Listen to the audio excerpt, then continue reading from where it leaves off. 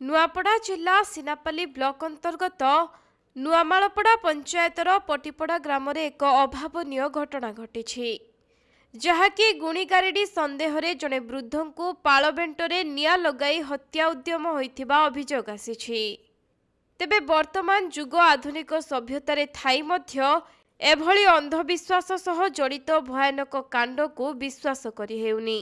ମିଳିଥିବା ସୂଚନା ଅନୁଯାୟୀ ପଟିପଡ଼ା ଗାଁର ଚଉଷଠି ବର୍ଷୀୟ ଖାମସିଂ ମାଝୀଙ୍କୁ ଗୁଣିଗାରେଡ଼ି ସନ୍ଦେହରେ ଗାଁର କିଛି ଲୋକେ ବୈଠକକୁ ଡାକି ନେଇଥିଲେ।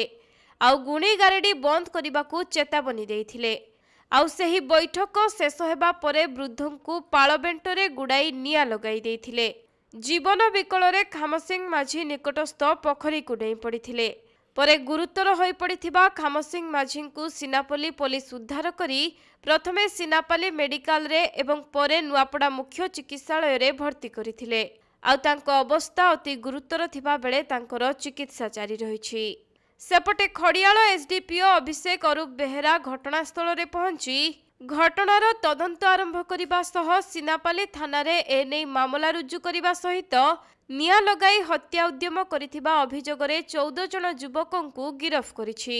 ପରେ ଗିରଫ ହୋଇଥିବା ଚଉଦ ଜଣ ଅଭିଯୁକ୍ତଙ୍କୁ କୋର୍ଟ ଚାଲାଣ କରାଯାଇଥିବା ବେଳେ ଏହି ଘଟଣାର ଅଧିକ ତଦନ୍ତ କରାଯିବ ବୋଲି ଖଡ଼ିଆଳ ଏସ୍ଡିପିଓ ଶ୍ରୀ ବେହେରା ପ୍ରକାଶ କରିଛନ୍ତି।